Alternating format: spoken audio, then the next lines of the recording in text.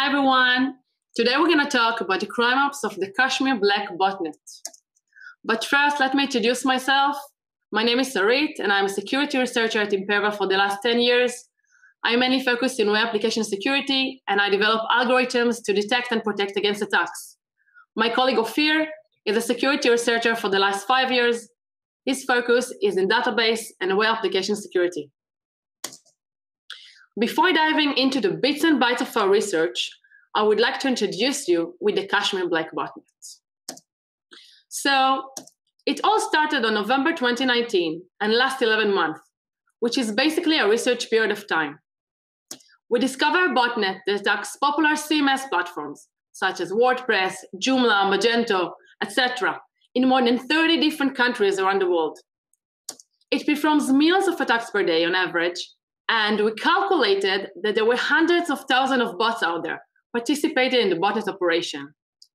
These bots, uh, they utilize dozens of known vulnerabilities with different attack types, like file upload, remote code execution, and many more.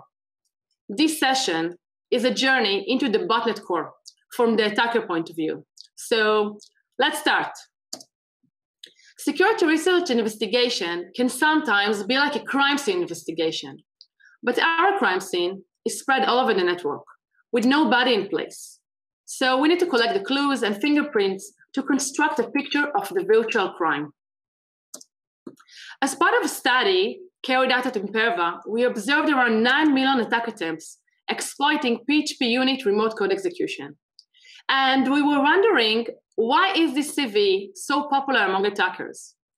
To understand this hype, we started to analyze attacks from our data lake and we saw different IPs using the same payload over and over again, attacking different customers, uh, which remind us of botnet behavior.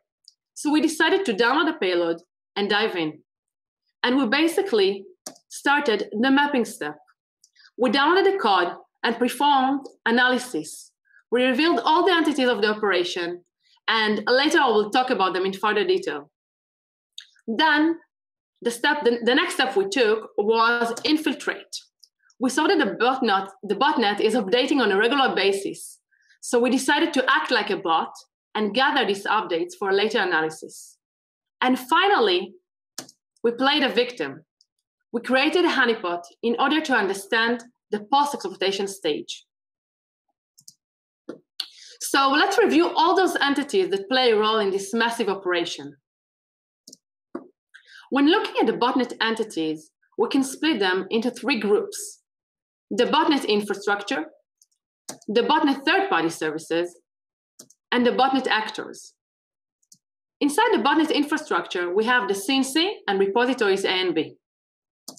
Under the third party services, we have GitHub, Pastebin, Dropbox that the attacker use in, in one hand to camouflage operation, and on the other hand, to make the botnet more flexible. And under the botnet actors, we have the victim and two types of bots, pending and spreading. And I will describe the difference between them later on. The first entity in the botnet infrastructure, which is responsible for the entire operation, is the command control. And here we can see the login screen of the CNC. The Kashmir Black CNC is located in Indonesia and has three main roles.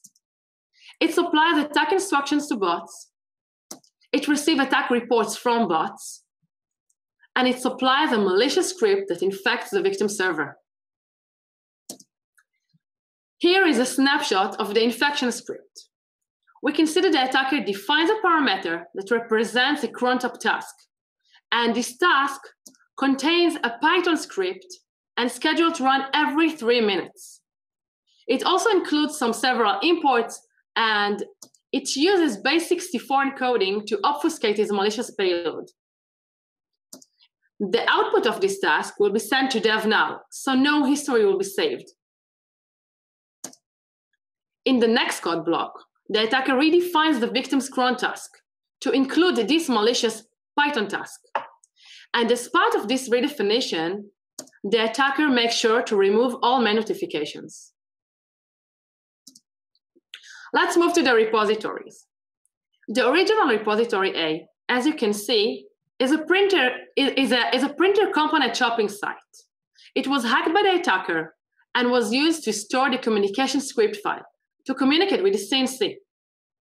Another type of repository entity in the botnet is repository B, which is a site that was classified as an educational institute. It was used by the attacker to store bundles of exploit and payloads. And here is an example of the exploit and payload bundles. The, attack, the attacker files are located under the CSS path, among other CSS files that are being used by the innocent web server. The name of those bundles files start with the in-memory prefix, and they're actually zip files hidden with the CSS extension. And here is their modification date. One of the best qualities in this botnet is that the infrastructure is just like plug and play. The attacker can expand his targets, victims, and add new payloads and new exploits by uploading the new flights here. And no infrastructure changes are required. Every file here represents an exploit that targets a specific vulnerability. Here is a partial list of CVEs the botnet uses as part of its operation. And we can see among them some remote code execution, file upload, remote file include, and many more. And we can say that these vulnerabilities are related to different plugins, widgets, and themes. And the conclusion here is that it's not necessary to use exotic exploits in order to expand the botnet. Moving to the cloud-based services. Another type of entity used by the attacker is GitHub. It was used as a version control to store some of his files. And when we checked the repositories, we saw PHP web shells and crypto miners. And we can say that by using GitHub, the botnet achieves a layer of flexibility, as the attacker can easily update and find this repository without interfering with the botnet activity. Another entity is Pastebin, which is a website that allows anonymous users to share plain text through public posts they called pastes. The attacker used this paste as a quick and easy way to access and download backdoors in the infection step in the botnet operation. And later, we will show how Dropbox was used in order to upgrade the botnet, hide the operation behind legit cloud services, and also to secure the CNC. Now, let's talk about the two type of bots. First, the spreading bot. This bot constantly communicates with the CNC to receive attack instructions. Those are commands from the CNC telling him who to attack and how. This bot is used to infect new machines and expand the botnet. A victim that was infected by the spreading bot can become one of two a spreading bot or a pending bot. Now, let's talk about the pending bot. As I said before, this bot is a victim site that was infected by spreading bot, the one that appear here.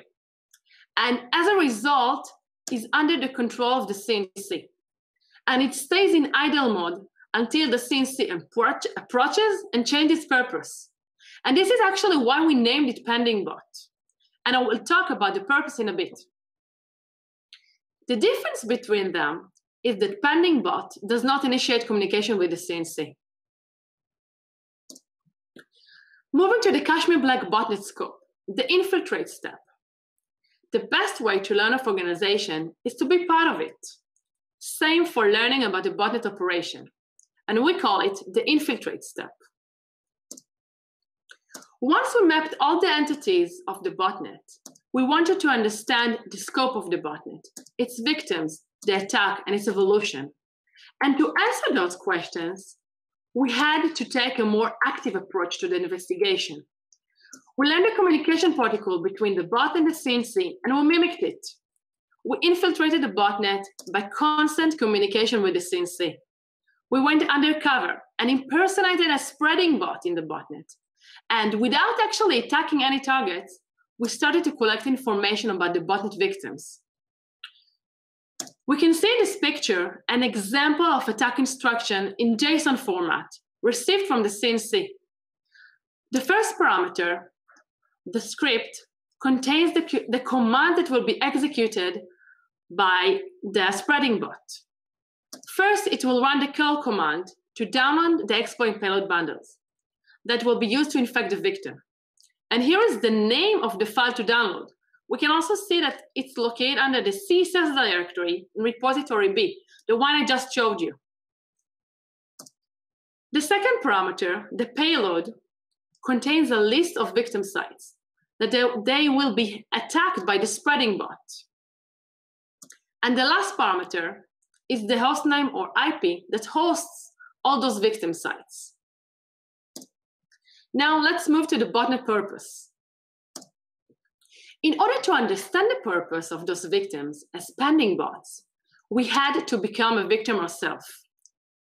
So we created a CMS honeypot and attacked it with our spreading bot from the infiltration step. Then we reported to the CNC of a successful attack. And by that, our honeypot became a pending bot in the Kashmir Black botnet, waiting for the CNC to approach. And we saw five types of purposes for the botnet. About the first two, we already discussed. Those are the pending bot and the spreading bot. So I will talk about the others. An exciting purpose we observed is a crypto miner that mines Monero coins. As part of the code analysis we did, we got access to the hacker's payment address, and we can see his balance in real time. The next purpose we discovered was a, was a, was a result of our CMS honeypot. It was converted into a clickbait bot. And when we tried to access the honeypot's login page, we were redirected to one of many clickbait sites. The last purpose is defacement. Once we saw the defacement signature, we discovered the nickname of the hacker behind the botnet.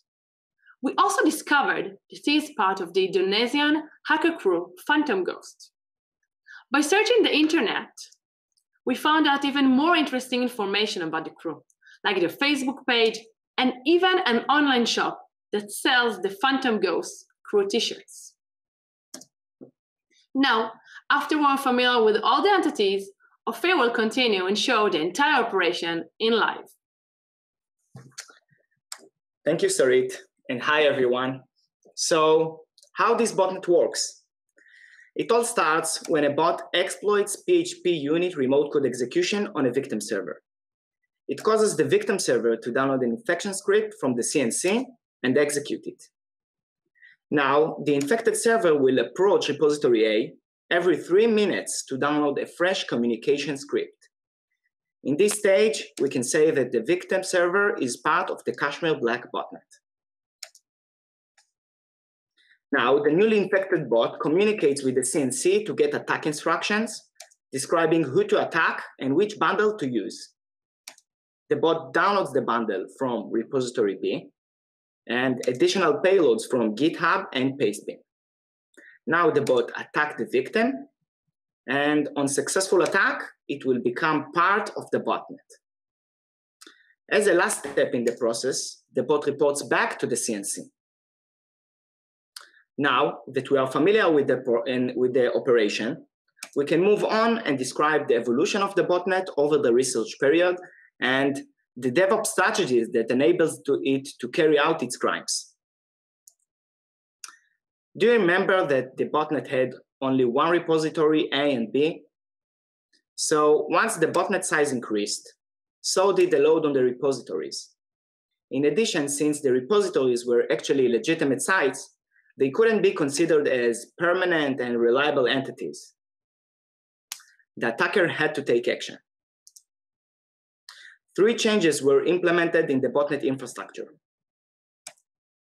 Adding new entity, repository A load balancer, expand repository A into multiple repositories, and expand repository B. There were three main reasons behind these changes make the botnet more dynamic and scalable, add redundancy, and load balancing. The following diagram shows the old infrastructure against the new one. While in the old infrastructure, every bot will address the load the, uh, directly the repository A, in the new one, each bot will address the load balancer and will get in return one of many repositories. To integrate this change into the operation, an additional change in the botnet was required. We will discuss this change later on. Now, let's talk about internal changes that were made in order to secure the CNC and the botnet operation. So the CNC is the most sensitive and important component in the entire operation. Securing it is critical. Let me take you back a little bit to the steps where we infiltrated the botnet and played the victim. So we created a honeypot, attacked it with our, with our spreading bot, and reported back to the CNC. We believe that the attacker grew suspicious as he performed two internal changes in order to avoid interfering with the CNC.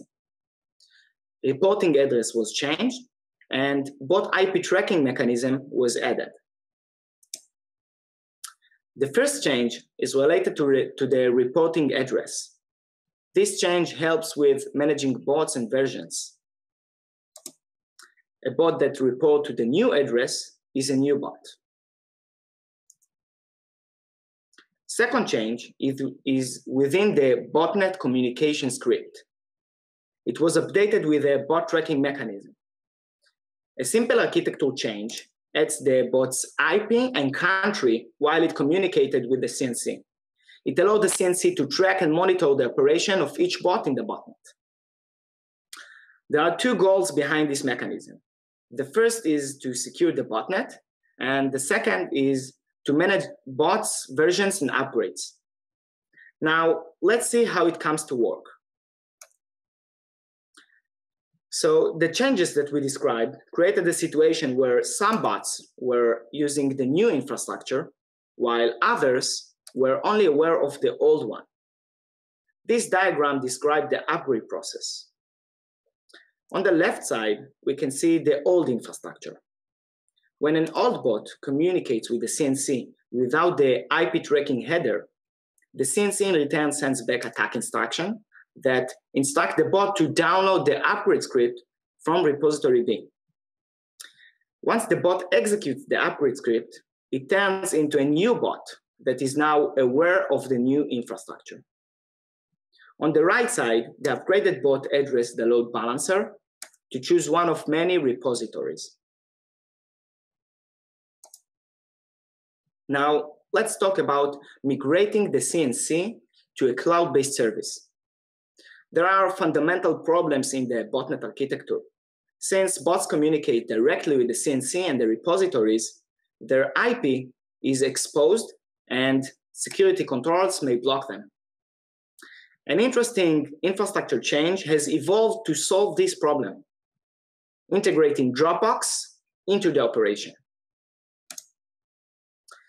Instead of communicating directly with the infrastructure entities, the CNC and the repositories, the bots are now communicating only with Dropbox. Now, Dropbox API is being used to fetch attack instructions and to upload reports from bots. This is a big step towards camouflaging the botnet traffic, securing the CNC operation, and most importantly, making it difficult to trace back to the hacker behind the operation. Now, let's discuss some key takeaways. Botnet deployment is similar to application development process. There are some important key features we need to consider in order to create a stable botnet that, uh, that is here to stay. Um, so those are stability, flexibility, and CI/CD. In order to create a stable botnet, we need to take into consideration load balancing and redundancy, enabling scalability while growing. In other words, stability is the foundation that enables the botnet to exist. But this is not enough. The separation of the exploits from the infrastructure enables maximum flexibility as the attacker can add new exploits anytime. Together, those two key features are the basis of the ability to grow and expand. On the other hand, we have the CI/CD branch, that includes version control and deployment cycles. We call it automation. Behind every massive operation, we must have an automatic process to support it. Expansion and growth cannot exist without a solid CI CD process. Now, let's talk about the insider point of view. As a security company, we have data of hundreds of thousands of customers where we can see attack in the wild. But this is not good enough since our data is biased by our customers. Here are a couple of advantages we got from the insider point of view. Being inside the botnet operation gave us the advantage in the analysis, as we could see the big picture and not, just, not just a small portion of the infection. We watched the botnet evolution from the first row. We saw new repositories, exploits, and payloads added in real time. And by analyzing the code changes, we concluded what motivated the attacker to perform such changes. We had a unique foothold that enabled us to analyze the victims from the attack instructions, extracting the country, the platforms, domains, etc. The inside intelligence led us to the educated assumptions that there is kind of an automated mechanism that searches for potential vulnerable targets and initiate them inside the queue in the CNC. Analyzing the exploit distribution explains which exploits are in use and the distribution of usage. What is the frequency that they are being used and which are more, com more common than others. All of this information is accessible only from the insider point of view. And it is critical in order to understand the scope of the operation, the motivation and challenges of the attacker. Now, let's sum up everything that we talked about. So in, in a botnet development, the attacker wearing multiple hats. The attacker is the developer, the architect, and the DevOps. Usage of third-party services are a critical part of the infrastructure in terms of camouflaging the botnet and bypass security controls. And it is not necessary to use exotic exploits in order to expand. So, what can we do to prevent infection? First, make sure that you are up to date with the latest security patches and that there are no unused or unsupported plugins installed that may increase your attack surface. In terms of research, first, we need to map all the entities we need to learn the botnet communication protocol. And last, visibility is essential to understand the big picture. So you're probably wondering, what is the current state of the Kashmir Black botnet? So when we decided that our research has come to an end, we collected IPs, hostname, hosting services, and every possible piece of information from bots, repositories, CNC and entities. We notified the owners of the infected servers and hosting services about the malicious activity. And today, the Kashmir Black botnet is dead, at least as we know it. We checked our data lake and we couldn't find any traces of new infections.